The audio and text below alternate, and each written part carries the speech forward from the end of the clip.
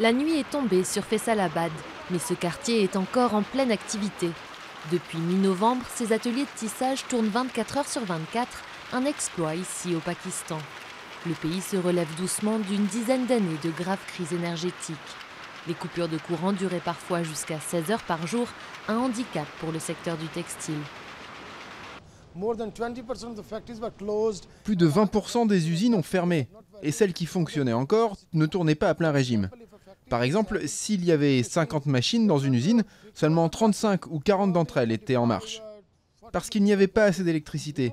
Et ça faisait perdre de l'argent à tout le monde. Le textile emploie 30% de la population active et constitue la majorité des exports du Pakistan. Mais cette crise a détruit un tiers des capacités de production du pays. De nombreux ouvriers ont été licenciés et des usines ont fermé, incapables de rivaliser avec le Bangladesh et leurs autres concurrents.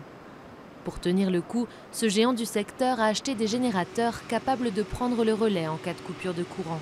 Mais le fuel est cher et l'entreprise fonctionne à perte plusieurs mois par an. On n'a pas le choix. On ne peut pas fermer parce que nos acheteurs sont très sensibles. Ils font partie des plus importants acheteurs internationaux. Donc on se doit de les fournir en temps et en heure. Qualité, ponctualité, tout doit être parfait. Un système D impossible pour les entreprises plus modestes qui dépendent totalement du réseau public. Conscient du problème, le gouvernement a fait de l'industrie sa priorité. Il s'est engagé à mettre un terme aux coupures de courant d'ici fin 2018 grâce à des nouvelles centrales actuellement en construction.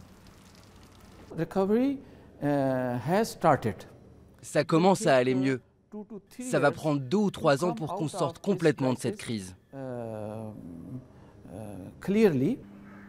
Mais le développement du réseau a un prix. Le coût de l'électricité augmente et l'industrie peine encore à être compétitive. Les exports continuent de baisser, moins 13% sur les 9 premiers mois de 2016.